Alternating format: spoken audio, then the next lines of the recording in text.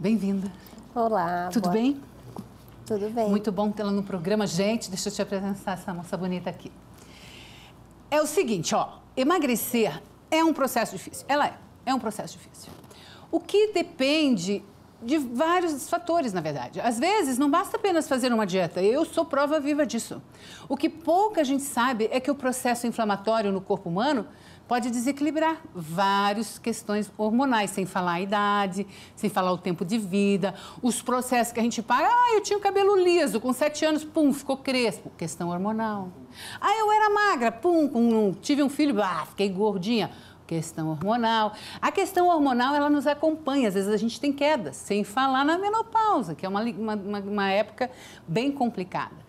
Para falar sobre esse tema, a gente hoje recebe a Ariana Luiza de Andrade Castellani, que é nutricionista, especialista em emagrecimento feminino e hipotireoidismo, que é um dos pontos também importantes para a gente cuidar dessa glândula que não deixa de ser né, uma questão hormonal também para lá de especial.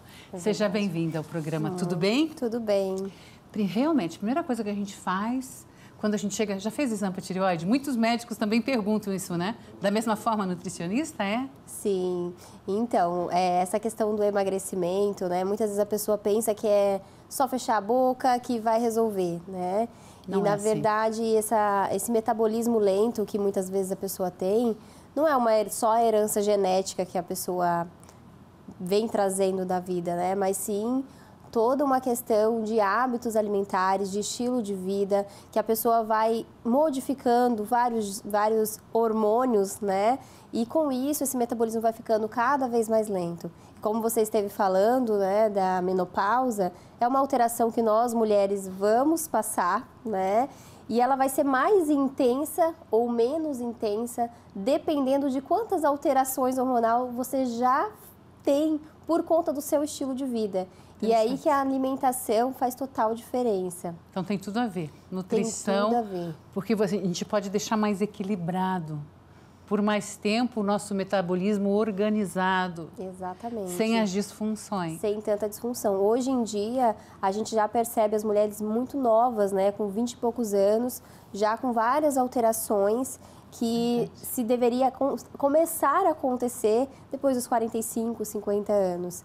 Então, com certeza, né, é, se a pessoa conseguir, se a pessoa se dedicar e olhar para esse metabolismo, fazer exames com frequência, corrigir esse metabolismo através da alimentação, do estilo de vida, que eu digo é, não ser uma pessoa sedentária, às vezes corrigir esse metabolismo. Então, muitas pessoas hoje a questão do hipotireoidismo, as pessoas têm alterações nessa glândula e não sabem ou já estão começando a ter essa alteração, não, não tem hipotireoidismo de fato ainda, mas já estão com essa glândula trabalhando sobrecarregada uhum. e isso vai deixando esse metabolismo lento e não sabem, uhum. não corrigem, né? Uhum. E vão deixando esse peso aumentar a cada dia. Até parar totalmente o funcionamento da glândula. Gente, isso é muito sério.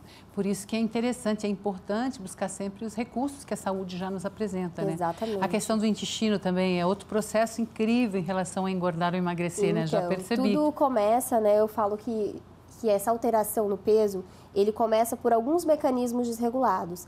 Então, o primeiro mecanismo que desregula no corpo é a inflamação.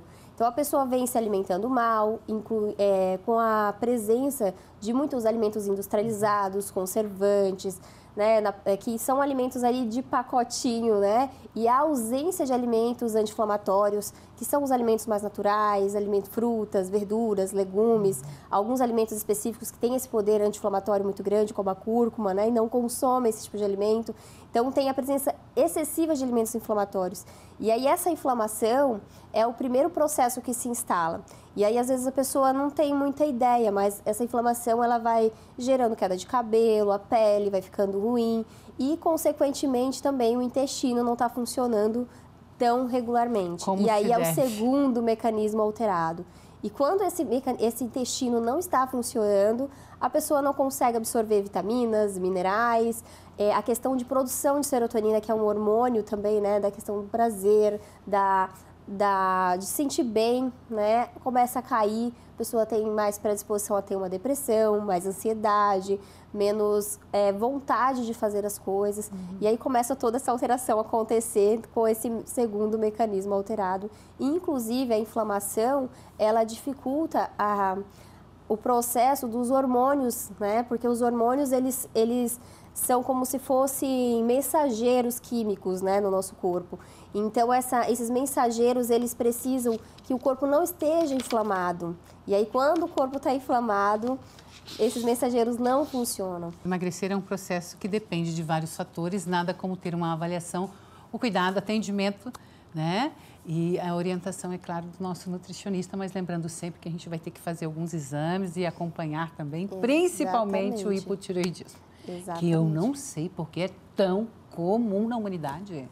Tá demais, né? Então, essa glândula ela tá alterando justamente também, muitas vezes, por conta desse excesso de inflamação. Uhum. Então, por exemplo, esses alimentos industrializados que hoje a gente tem muito acesso. Sabe aqueles nomes na lista de ingredientes que a gente não conhece? Uhum. Que você lê lá e não sabe o que, que é?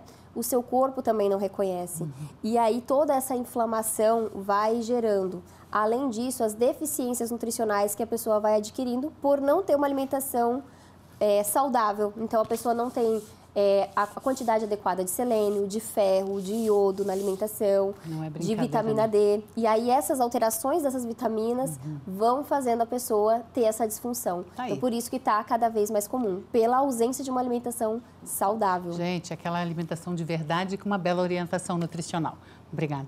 Obrigada pela agradeço, participação, viu? Ariane.